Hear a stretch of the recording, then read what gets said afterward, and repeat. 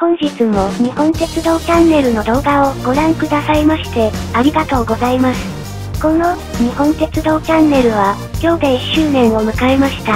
これからも毎日投稿、頑張りますので、ぜひ応援よろしくお願いします。チャンネル登録と高評価をお願いします。これからも日本鉄道チャンネルをよろしくお願いします。